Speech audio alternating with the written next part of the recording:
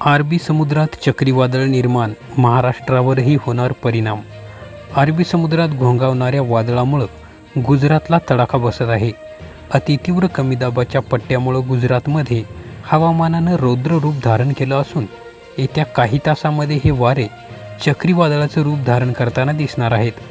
गुजरातच्या भुजपासून साठ किलोमीटर अंतरावर वायव्य दिशेला नलियापासून ऐंशी किलोमीटर ईशान्येकडे ही प्रणाली सक्रिय असून पुढील चोवीस तासामध्ये सौराष्ट्र नजीकच्या अरबी समुद्रामध्ये चक्रीवादळ आणखी तीव्र होण्याचे संकेत हवामान खात्यानं दिले आहेत.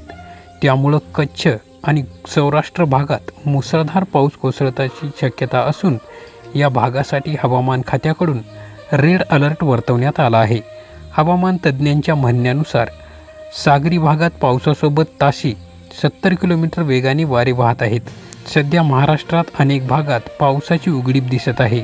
पण येत्या चोवीस तासात राज्यात पुन्हा पावसाला सुरुवात होण्याची चिन्हे आहेत.